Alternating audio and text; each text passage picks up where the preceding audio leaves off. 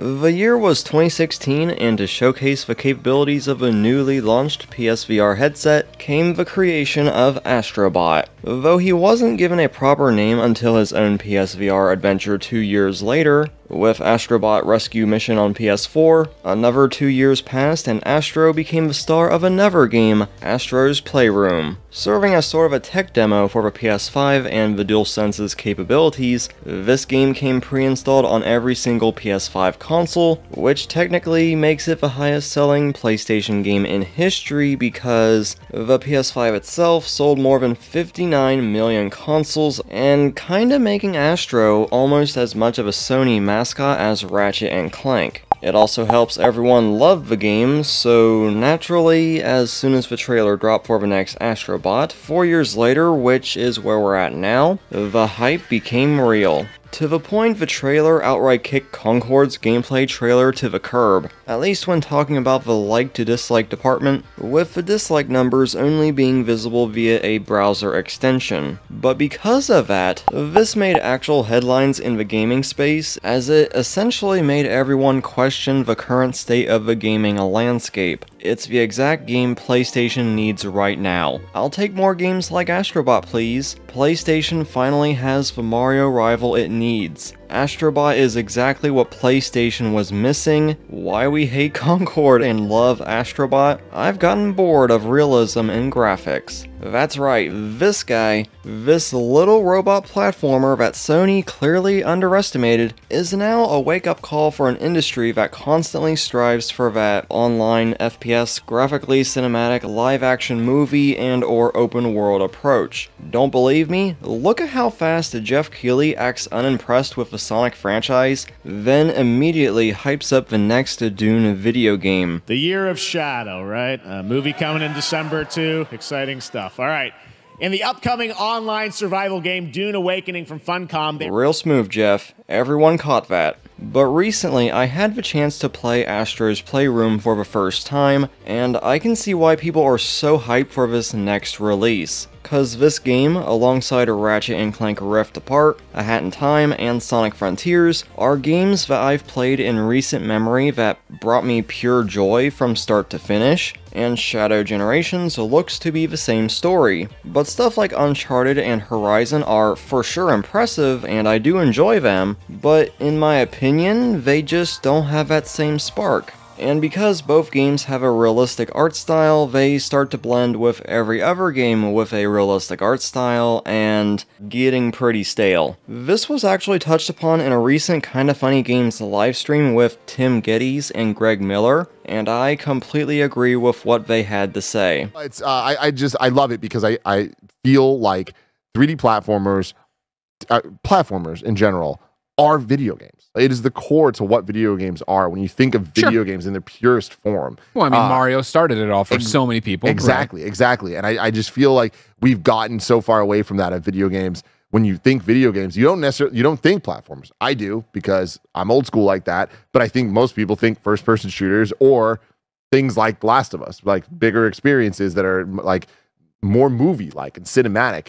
Uh, so I really appreciate just the, the the passion and care being put into the fun of just gameplay um, and just the the magic of the the wonder of anything can happen. Any gimmick uh, can be introduced to the level, and they're gonna expel every ounce of fun of that gimmick. And Astrobot entirely runs with that. Anyway, with that tangent out of the way, and since Astrobot is a mere months from launch, let's go over everything we know about Astrobot so far. Pre-orders are currently open for all free editions physical, standard digital, and digital deluxe. I still, for the life of me, cannot pronounce that correctly. The physical edition costs $59.99 US. It includes the game, two profile icons, early unlocks for a Parappa outfit, more on those later, the glorious graffiti color for the dual speeder ship, which features a ton of PlayStation characters on it, and I so wish this was an actual DualSense, I'd buy that in a heartbeat.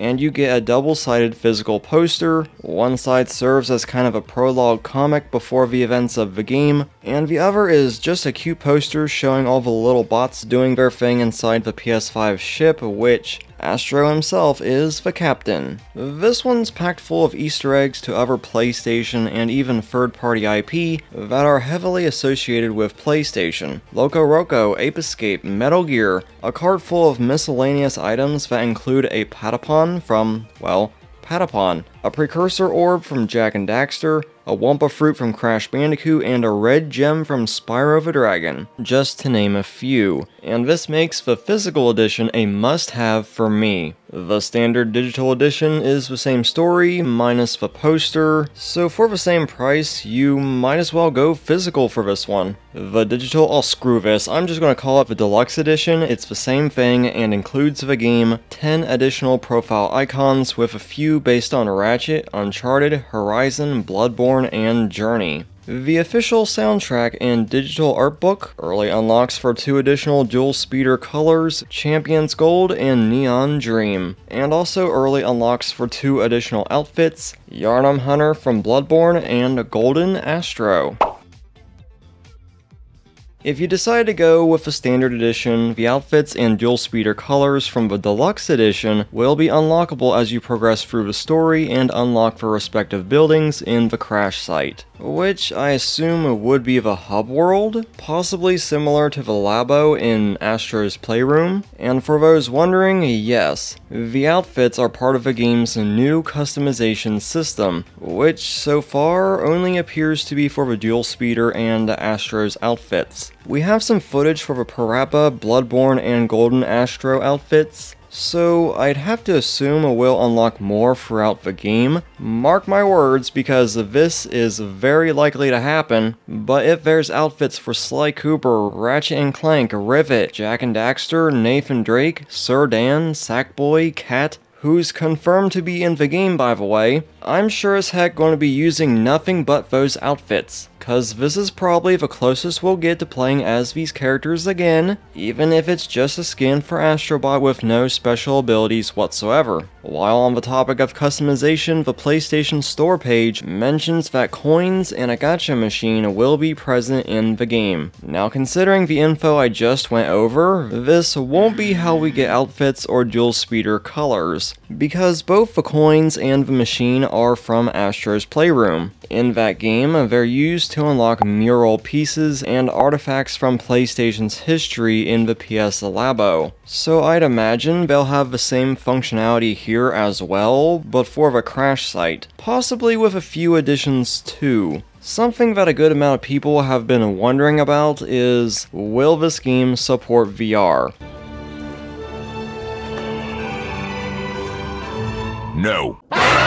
I don't really know why people are surprised, considering Playroom didn't have it whatsoever. In my opinion, that's a major plus, cause 1. I don't use a VR headset, and 2. I don't like the idea of locking a game behind a VR headset, as it cuts off a good chunk of a player base. Especially if the headset costs way more than the PS5 itself. Unacceptable! According to the PlayStation blog, Astrobot will have 80 levels spread across 6 galaxies. As Astro searches for the members of his missing crew, assuming after the PS5 ship crashed, with Astro waking up in what remains of it, making this much larger than Playroom and, ultimately, Team Asobi's biggest project to date. This is even reflected in the game's reported file size at around 70 gigabytes for the Japanese version, compared to Playroom's almost 12 gigabyte file size. Looking at the trailer as well as the screenshots and gameplay going around, we do see a good amount of levels on display, though I can't put a definitive number on how many we've seen, cause if we look at the level structure in Astro's Playroom, it tells us that every world consists of multiple levels you can just walk right into and receive sort of an Uncharted styled confirmation. This very same thing happens in this game looking at the Summer Games Fest footage, but it's only upon entering the level via the dual speeder, which requires the use of motion controls for steering. So,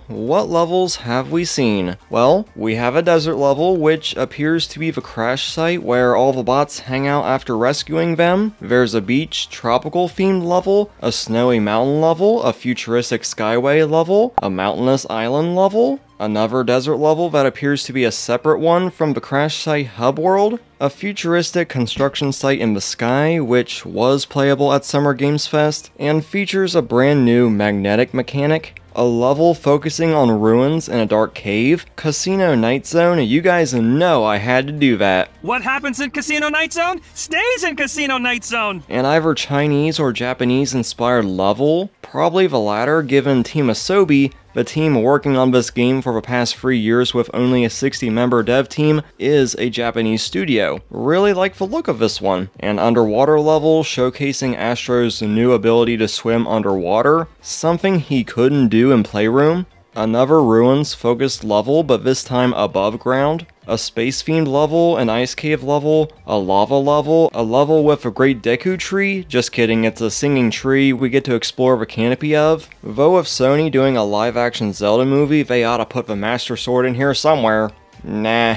It'll probably be Cloud Sword from Final Fantasy and call it a day, but it wouldn't be the same. Another look at the space level could be the same area as the first. We've got a snowy ocean level, another tropical area with Big Brother, a returning character from previous Astro games, a Norse area with Kratos, which is probably the same one IGN and everyone was talking about that was teased in the demo they played at Summer Games Fest and has led everyone to believe there'll be levels based around individual PlayStation IP, and that would be so cool if it happens. I can already imagine Paris, France for Sly Cooper, Sandover Village for Jak and Daxter, seeing as their bot is already based on Jak 1's designs. Same for Ratchet, so possibly Metropolis for him and Clank, Hexaville for Gravity Rush, and Gallowmere for MediEvil. I mean, we're not far off from the medieval one, since we do have a Victorian era styled level, though it references Bloodborne's clock tower, uh, I do feel sorry for all you Bloodborne fans for getting all this acknowledgement but no sequel. You now officially share the pain us Sly Cooper fans feel. The PS blog also mentions a level based around a giant hourglass. I'm so tempted to crack a joke about Hat in Time, but I won't. There's also a screenshot with a bunch of Astro Cats and an Astro Mouse? Uh, I'm pretty sure I'm missing the reference, but okay. Anyway, if we don't count boss levels, and assuming these aren't parts of the same areas, we have about 22 levels that were shown off to some extent. There will also be challenging die and retry levels for those wanting a bit of extra challenge, essentially the network speedrun levels from Playroom. And apparently the post-launch free DLC levels will also be focusing on this component specifically, but it's currently unknown what else they'll entail. Navigating through these levels requires the use of over 15 brand new abilities that take full advantage of the DualSense. And let me just pause for a second to appreciate just what the DualSense is capable of. After getting my hands on it after so long, this controller is absolutely incredible. It feels great, feeling every one of Astro's footsteps across the many different surfaces, the tension in the triggers, even in Rift Apart, it's pretty dang impressive. This is hands down the best controller I've ever owned, and I can't see myself going back to anything else. I'm not going back! Now Team Asobi is taking it even further than in Playroom, to the point they had to create a smaller team called DualSense 2.0 to extract even more from this thing. Speaking with IGN during Summer Games Fest, head of Team Asobi, Nicholas Dose, uh, I really hope I pronounced that correctly, talked about some of the things that weren't quite possible with it at the start, and now we're at a point where you can have Astro walk up against a wall and he'll touch it like in Uncharted. And by doing so, you can feel the changes in texture to find a secret passage. And that is such a cool idea. There's thankfully going to be less touchpad stuff this time around, and thank goodness, those bits got tedious pretty quickly especially when taking the Crash Bandicoot death routes. Anyway, I'm getting sidetracked. Out of the over 15 abilities, we've seen 7 so far. Barkster grants the ability of Bulldog Booster, allowing for dash attacking enemies and breaking obstacles. The Twin Frog Gloves gives Astro the ability to punch enemies from really far away, grab and slam them. It can also be used to swing over chasms. Giant Sponge allows you to suck up water and cause destruction. Absorbent This right here is when I started getting massive Kirby and the Forgotten Land vibes. I love that game, so this looks promising. If you want to know more about this ability and how it came to be, I'll leave a link to the IGN interview down in the description below. We've seen two other abilities, but so far, they're not named yet. But in Casino Night Zone, Astro gets a backpack and possibly a PSVR headset that grants him the ability to slow down time. And the Summer Games Fest demo showcased an inflator ability, which gives Astro more height to explore. The PlayStation blog mentions a sixth ability centered around rockets, which we haven't seen footage of yet. And ability number 7 is the Monkey Climber, giving Astro the ability to grab heavy objects and throw them at breakable objects, activate special switches, coupled with the return of a monkey climbing gimmick from Playroom. These abilities serve as an upgrade to Astro's current abilities, and the team wanted to do more of that to complement the platforming first and foremost, instead of the aforementioned touchpad stuff. Well, they still are, but in different ways that I already talked about. But ultimately, the main goal of traversing these planets and using these abilities are to rescue Astro's fellow crewmates. There's 300 in the game, 7 per level, two of them being themed after PlayStation IPs, also known as VIP bots. Rescuing them, like Ratchet who's tied to a tree, glad to see that no matter what universe Ratchet's in, he's always getting captured pretty easily. Twice. These are clearly two different builds, in case it wasn't clear. Over 150 of these guys are based on PlayStation IPs, complete with redesigns that make them more faithful to their home games, at least when compared to Playroom. So far, we've seen Sly Cooper with his full outfit from Sly 1, there's also a U2's in the works. Sly 5 confirmed, I'm just kidding. Now Jak and Daxter received the most noticeable changes. Daxter actually looks like himself instead of a rabbit, with Jak sporting his full Precursor Legacy outfit. Ratchet's based on his original PS2 look, with an actual Omni wrench and not the $10 hardware store version. Clank shiny and shaped accordingly, and even Rivet joins the fun this time. Nathan Drake, full outfit and the toy gun Nate uses near the start of Uncharted 4. Kat has the scarf and outfit instead of just the hairpiece. This one came from a Summer Games Fest press event, which kinda explains the not entirely clear quality, but no sign of Dusty yet. Come on, you gotta include the cat. Parappa actually got the invitation this time. There's some for Journey, Shadow of a Colossus, The Last Guardian, Aloy from Horizon, and in the intro to the trailer, we see a Pipo monkey and Spike from Ape Escape.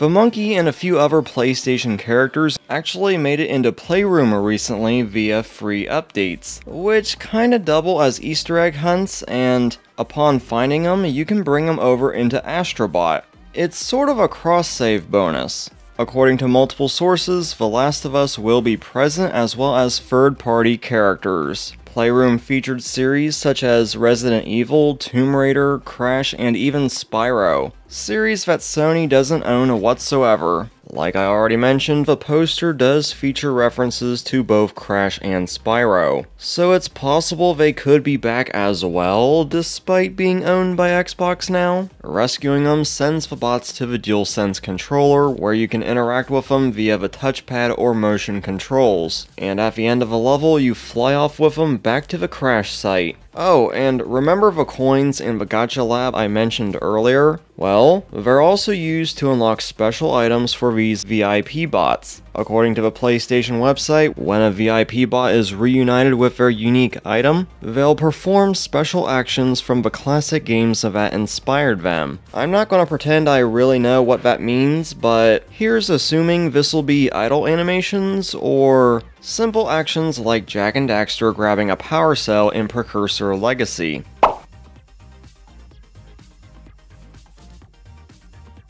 But the big thing here is that they're a much bigger part of the story, and that Astro might be teaming up with them throughout the game. But of course, we can't have an adventure of this magnitude without enemies. There's over 70 new types of enemies with a massive boss fight at the end of each galaxy. Seeing as there's 6 galaxies in the game, there'll be 6 bosses in total five of which we see in the trailer. Mighty Chewy, an unnamed bird and octopus are returning bosses from Astrobot Rescue Mission. The final boss of that game, the alien, aka Astro's rival, also makes a return, possibly serving as the final boss yet again when you assume control over the repaired PS5 ship that he initially wrecks at the start of the game and taking back the stolen CPU. I can't believe that is an actual sentence I'm using to describe a video game boss fight fight. What a time we're in. Though most of the bosses appear to be returning from previous games, there are two brand new bosses in this game. This one looks like a genie for an Arabic themed area. No official name has been given for this one yet. The other one is the deadly Cobra Queen, Lady Venomera. Probably my favorite boss of the bunch. Especially with the whole Egyptian theme going on, I'm a big sucker for this stuff. Also worth mentioning, during this boss, we can see Astro's health meter from the final boss of Playroom, suggesting the game will still have that one hit and back to the checkpoint system from Playroom. I do want to mention the soundtrack real quick, cause the music in this series has been playing rent-free in my mind since Astrobot's trailer dropped. We have Kenny Young, the composer of Astro's Playroom, to thank for that, because now he's returning to do the music for this Astrobot game. And oh boy, I cannot wait to see what everyone's cooking for this game. One final thing I do want to mention about Astrobot before we go is that it took so long making this video that I didn't get to mention this earlier, but Team Asobi did consider making this game an open world title, but decided to go for a level-based approach because that was the one that gave us the most control over the game's of variety.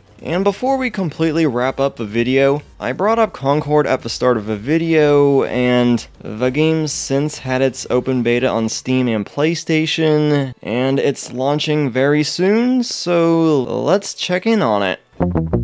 Oh, that's not a good sign. But with that said, I think that's just about everything we know about Astrobot so far. I seriously can't wait to play this game. September 6th can't come soon enough. But what do you guys think about Astrobot, and is there something I might have missed? Be sure to leave everything down in the comments section below. Also be sure to subscribe and ring that bell for more PlayStation content. Once again, I've been Blue Knight. Thank you so much for watching and for the constant support. I really do appreciate it, and I'll see you guys back here next time.